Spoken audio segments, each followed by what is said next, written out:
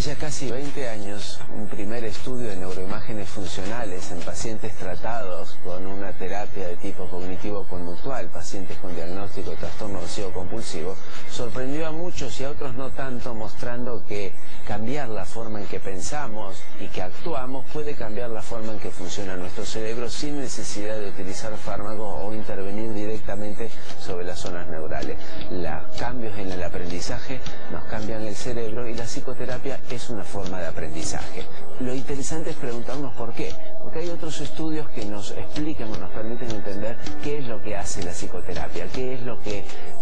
cambia también en el cerebro para que se puedan desactivar esas zonas más emocionales del cerebro como la amígdala. Y lo que se observó en otros estudios que lo que cambia es un aumento de la actividad de la corteza prefrontal,